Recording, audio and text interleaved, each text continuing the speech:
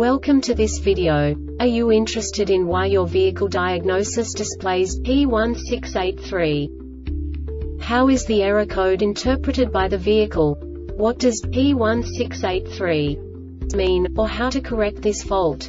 Today we will find answers to these questions together. Let's do this. First, let's look at the history of diagnostic fault code composition according to the OBD2 protocol, which is unified for all automakers since 2000. We divide the electric system of automobile into the four basic units. Powertrain, body, chassis, network. This distribution is defined in the first character code. If the second character is expressed as zero, it is a standardized error. In the case of numbers 1, 2, 3 it is a more prestigious expression of the car-specific error. The third character specifies a subset of errors. The distribution shown is valid only for the standardized DTC code. Only the last two characters define the specific fault of the group. Let's not forget that such a division is valid only if the other character code is expressed by the number 0. Our website airbagreset.sk produces useful videos for you.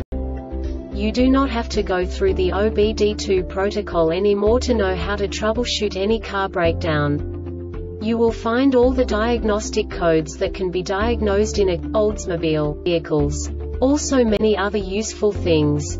The following demonstration will help you look into the world of software for car control units. You unbelievably can move the video a bit further.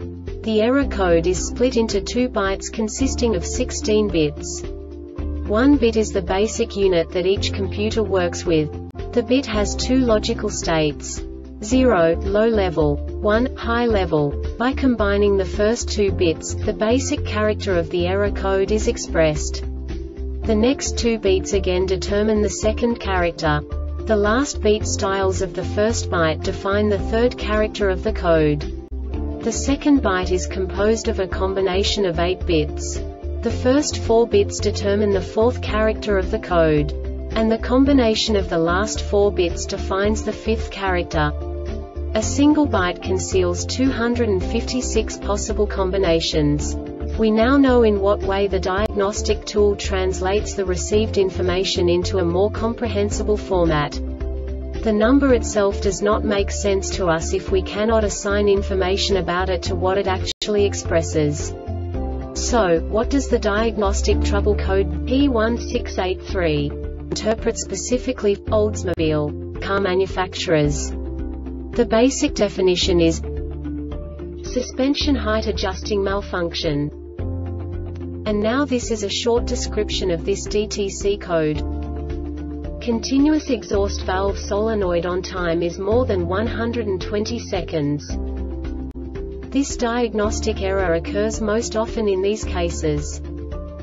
Short to power in the exhaust valve solenoid control circuit. The Airbag Reset website aims to provide information in 52 languages. Thank you for your attention and stay tuned for the next video.